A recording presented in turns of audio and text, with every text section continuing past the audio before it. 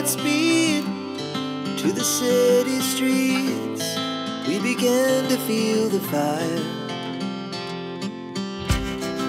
We rise like tall buildings as the chemicals they take us higher. 당신은 무언가 미친 사람 같아요. 성실해도 도가 지나치면 광기가 끼어드나 봐요. 여보 좀 쉬세요. 가족 생각도 하고요. 시끄러워. 그만 그만. 난 바빠. 밥만 먹고 사는 게 아니잖아요. 당신은 미친 사람이야. 그래요. 기어이 가정과 처자식이 안중에 없다면 그렇게 무심한 사람하고는 살 수 없어요. 전 대체 무슨 재미로 살겠어요? 당신이 생각을 바꿀 수 없다면 그만 헤어져요 우리.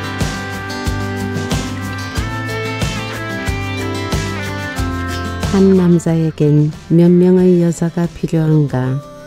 지연이 심상대 어떤 바닷가 마을에 가난하고 늙은 어부가 어린 아내와 함께 살고 있었다. 어린 아내의 몸은 부드럽고 따뜻했으나 그러나 바닷가의 밤은 어둡고 추웠다. 밤마다 키낮은 오막살이집 처마를 뒤흔들며 지나가는 매서운 바닷바람은 넉마를 덮고 누운 어부의 여윈 어깨를 더욱 시리게 했다. 곁에 누운 어린아내의 몸에서 피어나는 온기가 아니라면 견디기 어려운 밤이 날마다 계속되었다. 시린 어깨를 수무르며 지새운 밤이 지나고 이었고 저편 남바다에 아침 해가 떠오를 때면 어부는 낡고 작은 목선을 타고 바다로 나갔다. 열심히 그물을 던지고 낚시를 들이왔건만 잡곡이나마 어린아내의 배를 채워줄 만큼 양식을 구하기에는 어림도 없는 보잘것없는 물고기 몇 마리만을 간신히 건져 돌아올 뿐이었다. 이제 늙은 어부에게는 희망이라고는 전혀 없는 듯 보였다.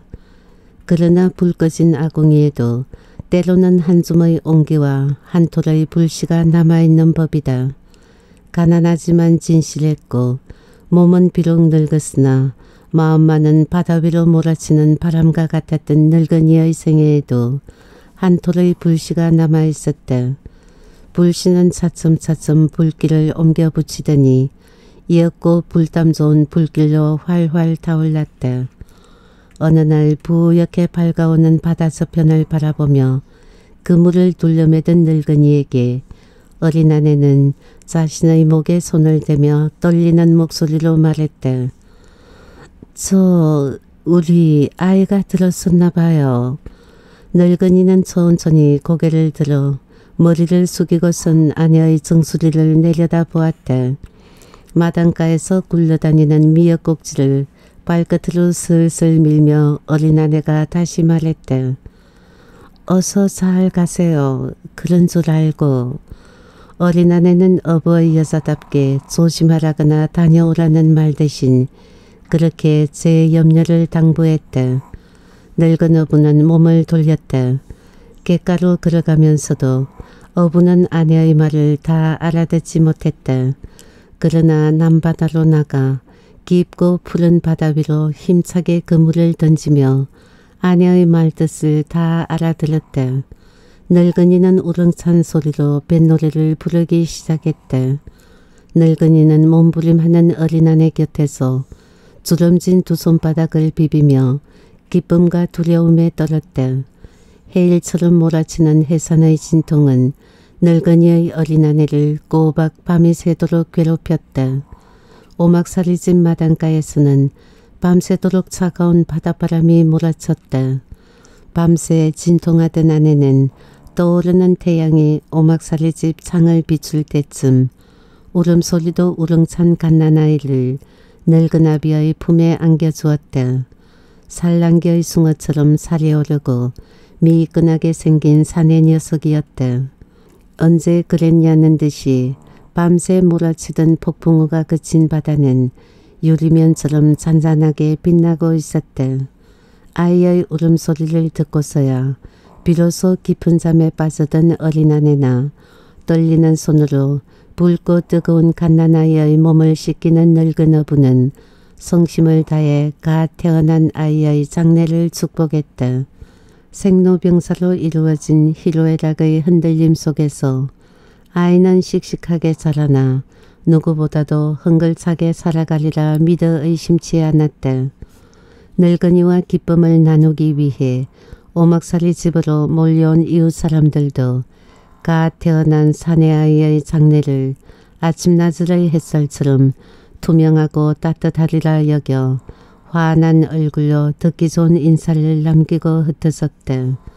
그 어떠한 사람도 이 아이가 곧 한 남자로 자라나 가슴 가득 연정을 품고 아름다운 여자를 만나 사랑에 빠지고 그리고 그 사랑으로 인해 환희의 나날보다는 절망과 회한의 고통 속에서 몸부림치리라는 것을 짐작하지 못했다.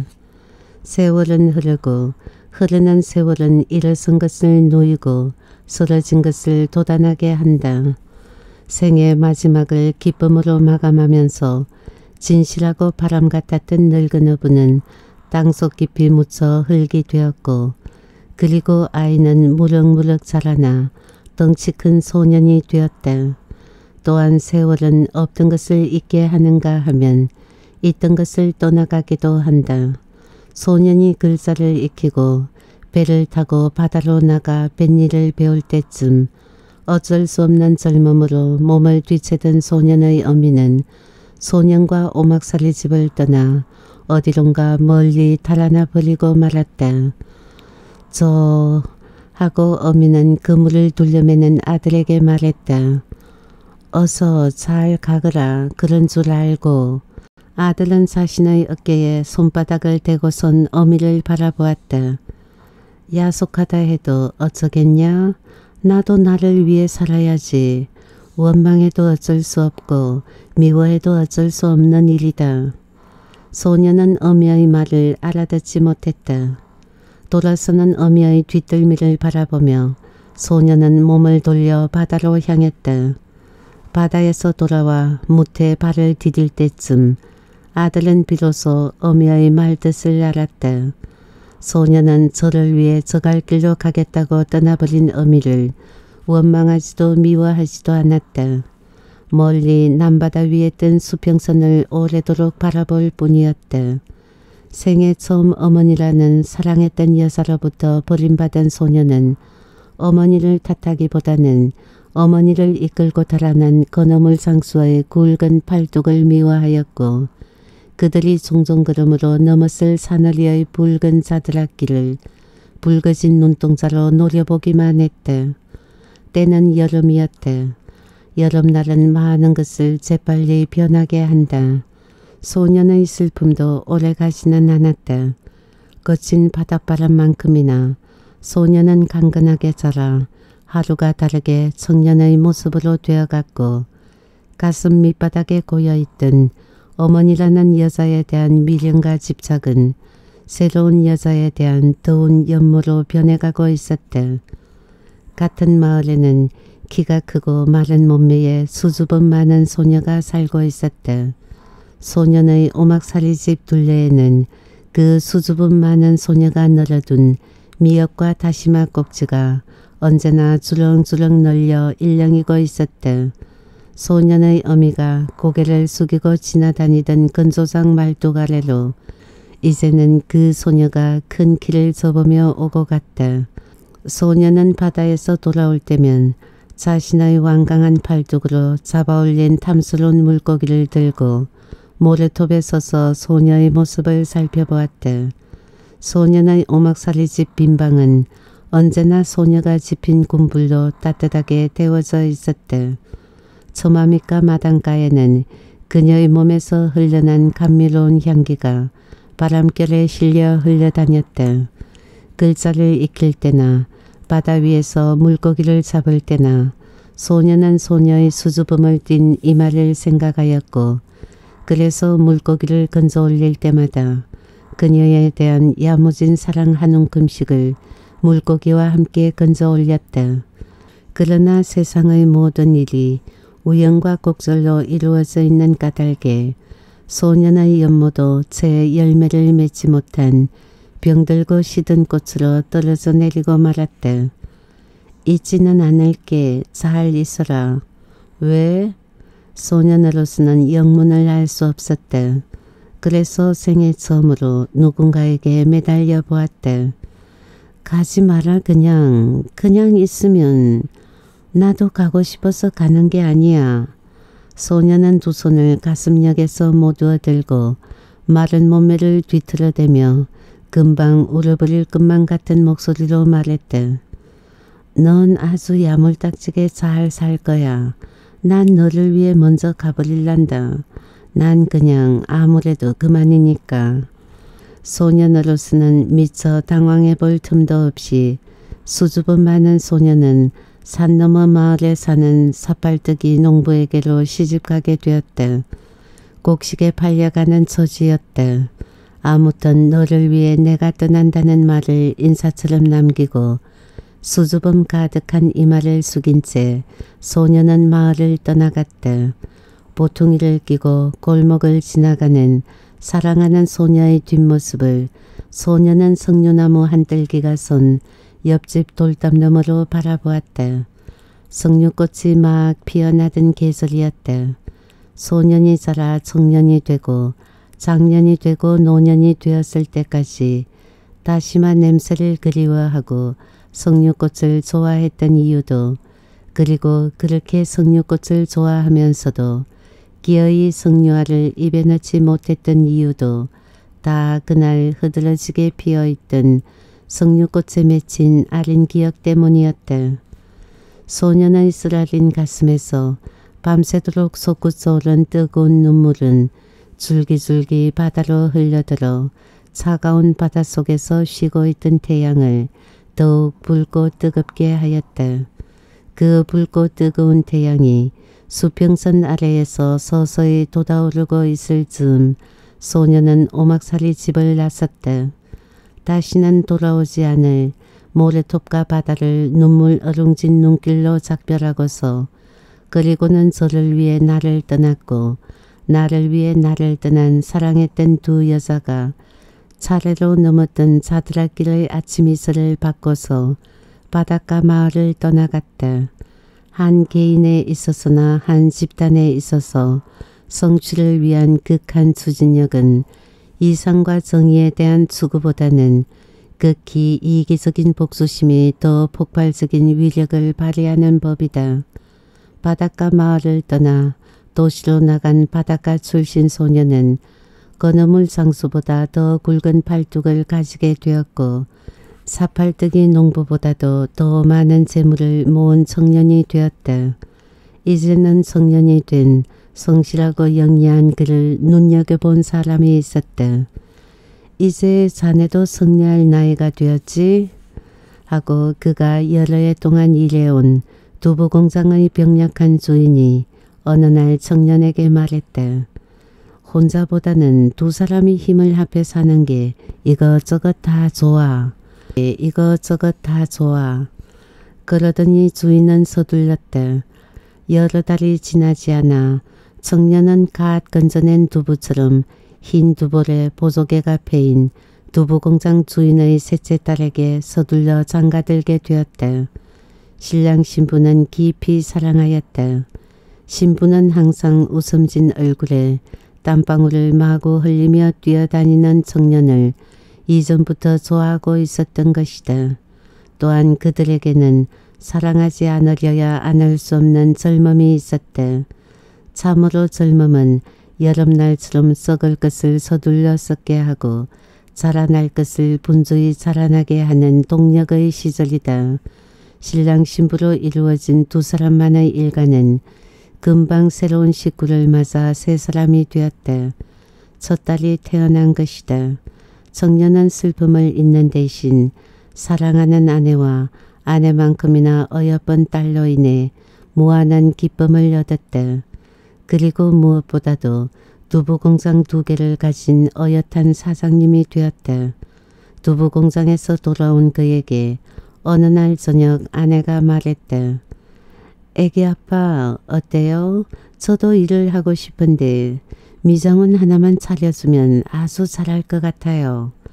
자신의 머리를 가꾸는 것만큼이나 나무 머리를 다듬어 주기 좋아하는 예쁘고 욕심 많은 아내는 미장원을 가지고 싶다고 졸랐다.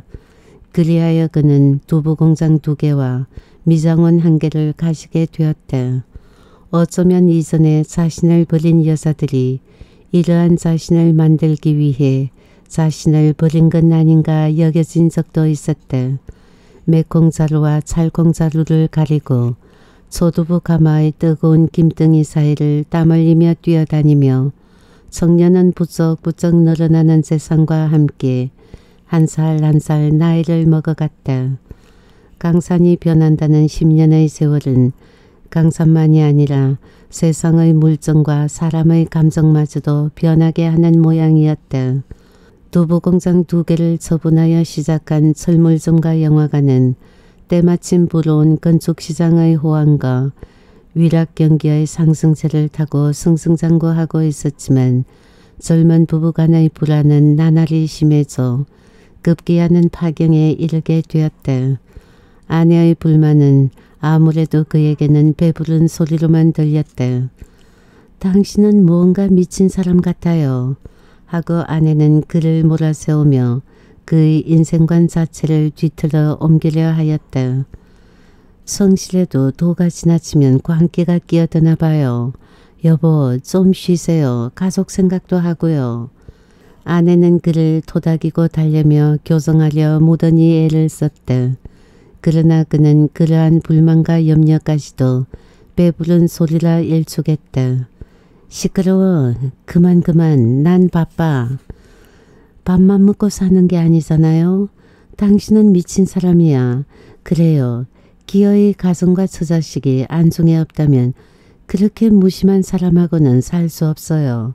전 대체 무슨 재미로 살겠어요? 당신이 생각을 바꿀 수 없다면 그만 헤어져요 우리. 가난이 창문으로 들어오면 행복은 대문으로 도망친다는 속담이 있다. 그러나 아내의 말대로 일에 미친 이 바닷가 태생의 남자는 가난만이 아니라 그 가난에 대한 원한이 야기한 또 다른 가난 때문에 사랑하는 아내와 어린 딸을 두 눈 뻔히 뜨고 떠나보내야만 했다. 세상살이에는 참으로 이유 같지 않은 이유가 이유가 되어버리고 난다. 재물은 많은 것을 결정한다. 남자를 괴롭히는 것은 슬픔이 아니라 단지 잠깐씩 찾아와 몰아치는 허허로움이었다. 재물이 있었기에 그는 많은 것을 잊을 수 있었고 또 언제든 얻을 수 있으리라 믿었다. 무관심이 결별의 빌미가 되었다면 그 반대는 관심이다. 남자가 다시 사랑의 도가니에 빠져든 건 호라비가 된 지 얼마 지나지 않은 어느 겨울날 밤 그가 운영하는 영화관으로 공연 여행을 온 악극단과 어울린 송년잔치 자리였다. 검고 커다란 눈동자를 가진 여가수가 바로 남자가 그날 이후 미친 듯이 사랑에 빠져버린 상대였다. 물기 흥근한 눈동자로 여겨보며 붉은 입술로 그의 귓볼을 깔깔대는 웃음소리와 함께 온기를 불어넣어 줄 때 남자는 이제껏 내가 무슨 이유로 살아왔던가 하는 심히 도발적인 자괴감에 빠져들었고 곧 그 여가수에게 모든 것을 바치게 되었다. 사랑과 병행할 수 있는 일은 뱃을 뿐이다. 영육이 몽땅 여자에게 빠져버린 남자는 그야말로 미친 사람처럼 되어갔다. 이를 팽개치고 악극단을 쫓아다니며 여자에게 사랑을 구걸하는 데 골몰할 뿐이었다. 남자는 이러한 극도의 관심이야말로 진정한 사랑이요 삶이라 여겼고 여자가 던져주는 한순간의 웃음에 위안을 얻으며 근근히 자신을 지탱해 나갔다. 당신만 제 뜻을 알아준다면 제 인생은 어떻게 되든 좋습니다. 남자는 고혹적인 여가수 앞에서 진심을 고백하며 자신의 사랑을 인정받으려 했다. 그러나 세상살이는 내 마음 같지 않았다. 나날이 자신에 대한 자세가 어려워지고 사업도 흔들리기 시작했다. 인생 자체가 돌풍에 휘말린 듯 통째로 휘청댔다. 남자의 혼신을 지배하고 있는 건 욕성에 대한 이기적 탐욕과 여자를 애워싸고 있는 모든 남자에 대한 경계와 의심 그리고 그녀에 대한 애정의 갈등뿐이었대. 당신은 정말 힘든 사람이에요. 애욕에 허덕이는 남자의 얼굴을 밀치고 떠나가며 여가수는 그의 그런 천박한 애성의 조갈증을 경멸을린 눈으로 힐라냈다. 여자는 떠나야만 하는 이유를 남자의 터무니없는 질투와 간섭 때문이라고 말했지만 남자는 그녀의 어쩔 수 없는 도학기라고 단정했고 버림받고 나서도 오래도록 현실을 인정하지 않았다. 사랑이 숭고한 이유는 질투라는 감성을 품고 있기 때문이다.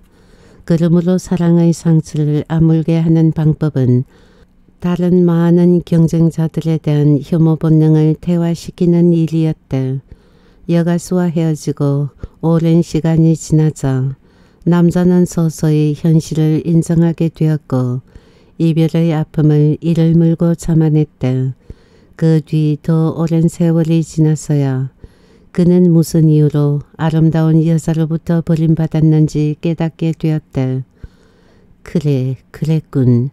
그건 사랑이라기보다는 집착이었어. 관심이 아니라 집착이었던 거야. 사랑하는 여자로부터 또다시 싸늘하게 버림받았다는 사실을 스스로 인정하고 나자 남자는 갑작스레 늙은 꼴을 하게 되었대. 어떤 방법으로도 다시는 여자를 사랑할 수 없으리라는 생각으로 심한 우울증에 빠져들었대. 다른 사업체를 정리하고 새로이 토건업에 뛰어들었지만 그 어떤 일에도 이전 같은 흥이 일지 않았대. 차갑고 시푸른 바다를 가르며 솟아올라 붉게 이글대는 아침해와 함께 태어났고 바다 위를 휘젓는 바람과 같았던 폐기와 저돌성은 어디에서도 찾아볼 수 없었다.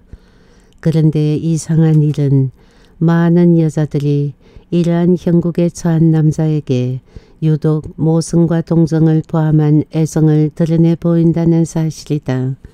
우울에 빠져 있는 그에게도 그러한 여자가 근처에 있었다. 사업상 금전거래 관계에 있던 40대 후반의 부유하고 거만한 독신녀가 바로 그 여자였다. 두 사람 모두 외로운 처지였으므로 교태나 겸손과 같은 사전의 인사치레는 부질없는 짓이었다. 두 사람은 서로를 인정하고 마음을 열자 금방 뜨거운 관계로 발전했다.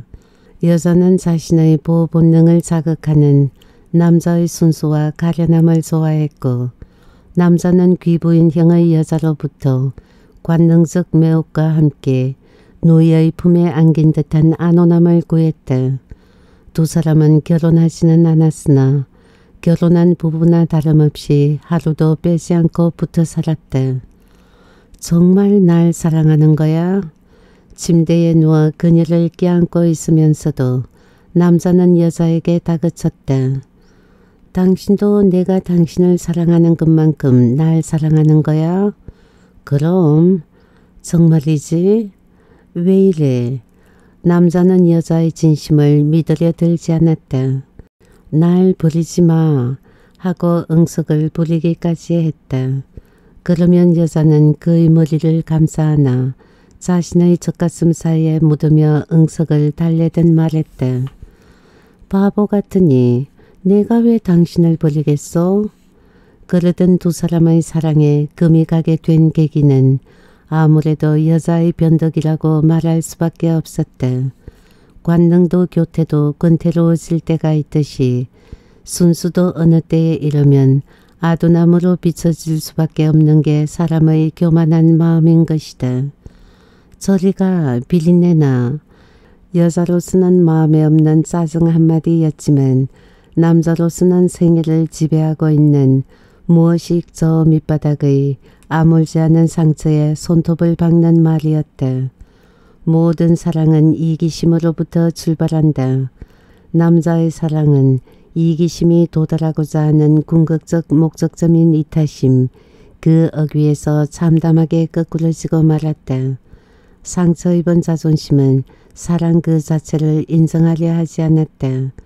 여자의 그 한마디로 인해 두 사람의 관계는 내리막으로 곤두박질 쳤다. 남자로서는 이 안온함이 영원히 이어지기만을 기원했지만 한 번 삐뚤어진 연인 간의 관계는 말로는 회복되는 듯 했지만 몸이 말을 따라주지 않았다. 이만한 나이의 사랑은 화려한 성정과 감미로운 미사여구가 있다 하더라도 몸이 따라주지 않는다면 성사되지 않는 법이다. 개딱지처럼 딱딱하게 굳은 여자의 몸을 쓰다듬으며 남자는 이제 떠나는 그녀를 위해 한 걸음 옆으로 비껴줄 때가 되었음을 알았다. 남자는 흐르는 눈물로 두부를 적시며 떠나가는 여자의 어깨를 슬그머니 만져주었다. 다시 10여 년의 세월이 흘렀고 남자는 다시 한번 사랑에 빠졌다. 생애 마지막 사랑이라 여겨 그는 집요하게 매달렸다. 미안하다는 말밖에는 할 말이 없구나. 남자는 숫제 빌듯이 자신의 사랑을 호소했다. 하지만 그 어떠한 일이 있더라도 내게 내 모든 것을 줄 작정이다. 사랑의 대상인 어린아가씨는 아무런 말도 없이 고개를 떨구고 있었다. 내 나이를 내가 잘 알고 있지 않느냐. 난 이제 너밖에는 없어. 그리하여 남자는 자신의 건설회사에서 일하던 상냥하고 깜찍한 경리 아가씨를 신부로 맞이하게 되었다. 문제가 없었던 바는 아니지만 그는 죽기 살기로 달려들었다. 이 여자를 놓친다면 세상 전부를 놓치는 것이라 생각했다. 이제 50의 나이가 된 남자에 비해 신부는 너무나도 어린 가 20살짜리였던 것이다. 쥐면 깨어질세라 불면 날아갈세라 한시도 방심하지 못하고 그는 애지중지 어린 신부를 사랑하였다. 보고 또 보아도 천사가 아니라면 선녀인 것만 같았다. 날개옷을 나부끼며 하늘나라에서 내려온 하나님의 따님으로만 여겨져 함부로 손을 대지도 못할 지경이었다. 문제는 그러한 일방적인 애정에 있었다. 남자의 진정에 비해 여자는 그의 재력에만 관심이 있었던 것이다. 그리하여 그 재력에 대한 매력이 다하고 흡족할 만큼의 재산을 제 몫으로 했을 때 그녀는 냉혹하게 돌아섰다. 이젠 절 좀 놓아주세요. 왜? 뭐가 부족해서? 아 미칠 것만 같아. 날 좀 놔주세요. 미치는 꼴 보지 말고. 부부간의 사랑은 마주보는 것이 아니라 같은 방향을 함께 응시하는 것이다. 그렇다면 남자의 일방적인 사랑은 이미 시작부터 불행의 조짐을 잉태하고 있었던 셈이다. 남자는 그걸 알지 못하고 있었다. 선선히 이혼에 응하면서도 남자는 단지 자신과 그녀가 함께 살아 숨쉬고 있다는 사실만으로도 만족한다고 말했다. 그러나 나의 어린 아내는 홀가분하다는 표정으로 후 한숨을 뿜어내며 싸늘한 목소리로 늙은 남편에게 말했다. 그렇다면 이제 다 끝난 거죠? 여전히 그녀를 사랑하고 있던 남자는 이혼한 지 채 1년도 지나지 않은 그녀가 이웃마을의 젊은이와 흥성스러운 결혼식을 치렀을 때 상당한 액수의 축의금을 보냈을 정도였다. 남자는 이후에도 오래도록 그녀를 진정으로 사랑하고 있었다. 여자의 냉정한 배신보다는 자신의 과욕을 나무랐고 먼 데서나마 그녀를 바라보며 평생 그녀를 지켜주는 사람으로 살리라 맹세했다. 그러나 그러한 헌신적인 사랑도 곧 끝을 맺었다. 자신이 그렇게도 사랑했던 여자가 자신의 재산과 사업체를 몽땅 가로채려 했기 때문이었다. 이제 중늙은이가 된 남자는 소송에 휘말려 쫓아다니며 단장의 아픔으로 고통스러워하였고 급기야는 병을 얻어 병실의 침대에 누워 지내는 처지가 되었다. 그럴 때 또 한 명의 여자가 남자 앞에 나타났다. 어쩌겠어요? 이제는 제가 모셔야죠. 남자 배새로이 나타난 여자는 20여 년 전에 헤어졌던 그의 유일한 혈육이었다. 첫 번째 아내였던 두부공장 셋째 딸은 이미 여러 해 전에 불치병으로 세상을 뜬 뒤였고 그들 사이에서 난 딸이 병실에 누운 아버지를 찾아온 것이었다. 딸은 벌써 서른이 넘은 주부가 되어 있었다. 이제는 백발의 노인이 된 바닷가 출신의 남자는 또 다른 열망에 휩싸여 사랑스런 딸의 손등을 쓰다듬고 또 쓰다듬으며 주름진 눈가를 질척하게 적셨다. 노인은 법원이 정리해준 자신의 남은 재산을 딸의 손에 넘겨주며 딸이 이끄는 대로 딸과 사위 그리고 20여 년 전 헤어지던 때의 딸을 닮은 외손녀가 살고 있는 집으로 거처를 옮겼다. 고적한 나날과 인고의 풍파를 겪으며 한 생애를 살아왔던 노인으로서는 아주 흡족한 말년으로 보였다. 사랑스런 딸과 그 딸을 사랑하는 사이와 그들이 함께 사랑하는 어린 손녀가 있는 집은 노인의 병세를 몰라보게 호전시켰고 노인은 이러한 행복이 자신의 임종까지 순탄하게 이어지리라 굳게 믿었대. 그러나 가정이라는 집단은 아주 사소한 우연으로 이루어지는 만큼 애매한 문제를 공통으로 가지고 있는 법이다. 사람들은 그 애매한 문제의 해법을 저마다 입장과 처지가 다르다는 이유로 더욱 애매하게 만든다. 자신의 이기심을 자신만이 가진 피치 못할 경우라고 우기는 것이다. 가정을 이루고 있던 사람들이 서로를 등지고 돌았을 때도 그 사소하고 애매한 문제는 아주 복잡하게 설명되는가 하면 끝내 미궁에 빠지고 만다. 간단히 설명할 수 있음에도 간단히 설명되는 법이 없다. 노인이 딸과 사위와 손녀에게 사랑과 재산을 남겨주고 2년 만에 그들 곁을 떠날 때에도 그러했다. 그래야만 했던 당연한 이유가 있었음에도 단지 어쩔 수 없었다는 애매한 결론만이 진실을 대신했다. 하지만 그들은 알고 있었다.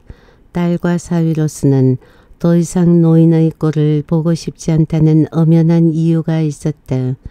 노인으로서도 이유는 있었다.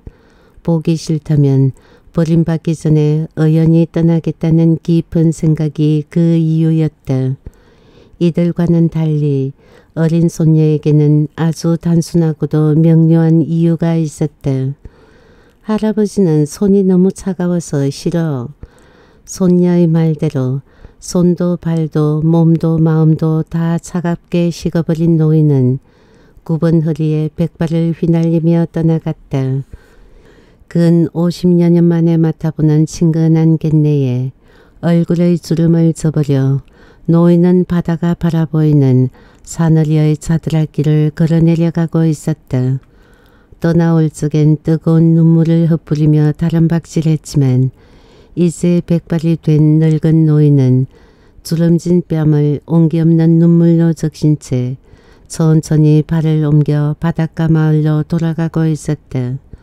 수많은 나날이 흐르고 흘러 많은 일이 일어나고 또 끝을 맺었지만 바다는 여전히 푸른 빛으로 일렁거렸으며 바람은 그 위에서 이전의 그날처럼 줄다름치고 있었다. 그리고 아침에는 아침에 떠올라 한낮을 환하고 뜨겁게 비추다가 저녁이 되면 저녁해가 되어 저물어 가는 서산마루에서 넌지시 쓰러져 갔다. 변한 것은 아무것도 없는 듯 했다. 단지 석류나무만이 몰라보게 살아있었다. 큰 키로 자란 석류나무는 봄이 되면 요염한 꽃을 피웠고 여름이 오자 열매를 매달았다. 어부들은 바다로 나가 굵은 팔뚝을 걷어붙이고 소리 지르며 물고기를 잡아 올렸고 어부의 아내와 딸들은 모래톱에 서서 그들을 기다리거나 말뚝에 늘어두었던 미역과 다시마 꼭지를 걷어쟁였다. 노인은 아주 즐거웠다. 시디신 석류화를 입에 넣고서는 눈소리를 찡그리고 진저리 치면서 아주 행복해했다. 이제 노인은 그 무엇이든 다 사랑하고 있다고 생각했다. 어쩌면 여자까지도 사랑할 수 있으리라 생각했다.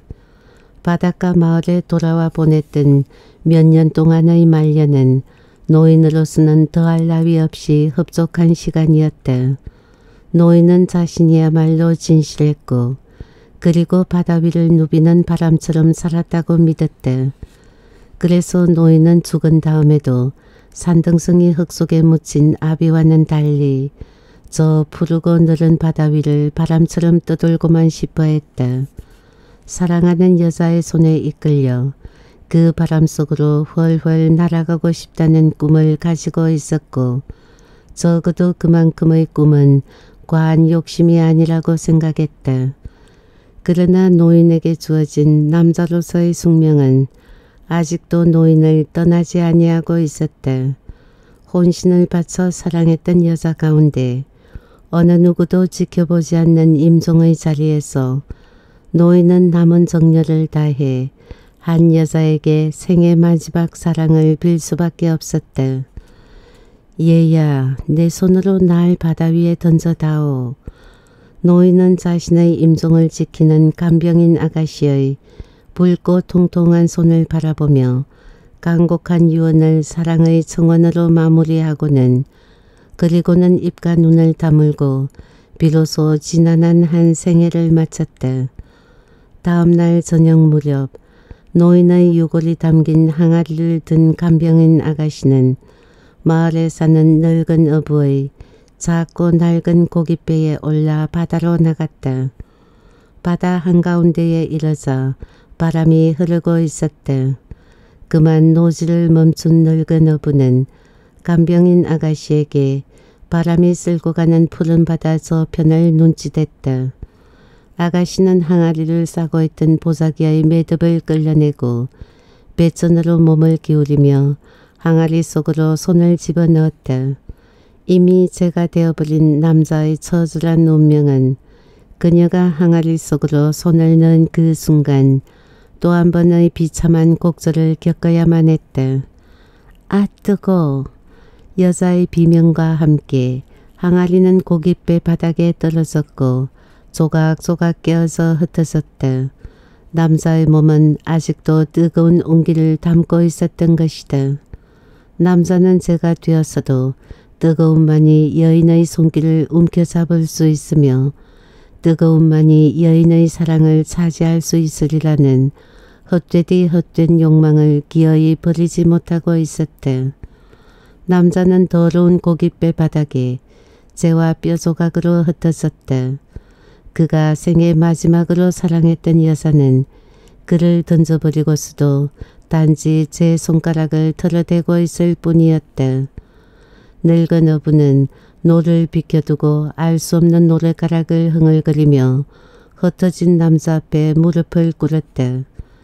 주름진 두 손바닥을 펼쳐 아직도 따뜻한 남자의 몸을 한줌 가득 움켜쥔 늙은 어부는 가루가 된 남자의 육신을 저 푸르고 너른 바다 위로 힘껏 던져주었다.